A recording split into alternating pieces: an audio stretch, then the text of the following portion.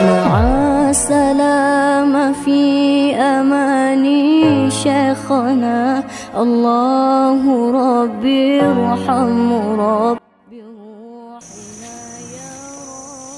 Tanah Perkuburan Islam Kampung Pulau Melaka.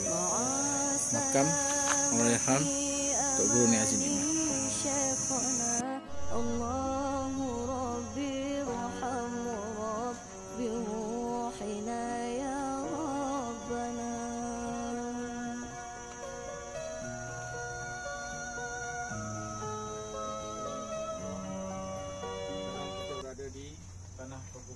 Pulau Melaka eh. Dan di sini adalah makam almarhum Tuan Guru Ni Aziz Nikmat. Seperti yang sedia maklum, Tuan Guru Ni Aziz Nikmat adalah bekas Menteri Besar Kelantan dan juga Musyidah Ampas Malaysia lah. Nama sebenarnya adalah Nik Abdul Aziz bin Nikmat eh. Lahir pada 10 Januari 1931 dan meninggal pada 12 Februari 2015 eh. Merupakan seorang ahli politik Malaysia yang disegani lah. Disegani, disegani oleh pihak musuh, pihak lawan dan juga seluruh manusia lah.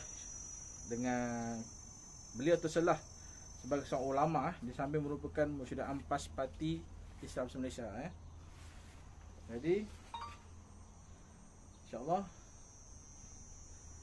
Kita ambil keberatan kita bertawasul Dengan Yalah, bertawasul kepada Allah Kehebatan Nek Bazim uh, Alhamdulillah masa beliau meninggal Saya ada datang Menziarahi Upacara pembumian Dan di sini Saksi mata sendirilah Saya tengok Orang ramai daripada jauh saya tengok eh Semasa kebumian tu Atas daripada makam ni sekelompok awan hitam seolah-olah memayungi jenazah. Ha, saya duduk dekat jabatan sana tu.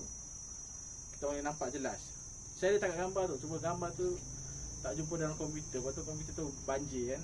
Dia dah tak apa nak tak tahu mungkin boleh sampai insya-Allah boleh selamat kot tapi belum buat lagi. Awan tu ikut daripada rumah usun jenazah sampai sini. Ha, ni saksi mata saya tengok sini. Bila Ta'ala saya nampak awan tu kelompok. Itu salah satu karamah yang kita nampak lah saksi mata sendiri kan. Dan ribuan orang datang. Parking sampai satu kilometer lebih. Lautan ni manusia ni. Sampai sawit mata mandang bayangkan. Penuh daripada light sana penuh. Bila dah habis upacara pemakaman tu saya nak ambil kereta saya jenuh jalan jauh. Itu adalah kehebatan ni. Bila meninggal Allah tunjukkan. Masa di hidup Orang ramai tak tahu lah Yang kita orang-orang tentu Tapi bila dia meninggal Allah tunjukkan Itulah karamah Berapa ramai orang datang Berapa orang sembahyangkan Kita meninggal so Allah alam Berapa orang sembahyang kita Tapi Ini kebaikan dia Itu yang di Dikira sebagai wali Allah InsyaAllah.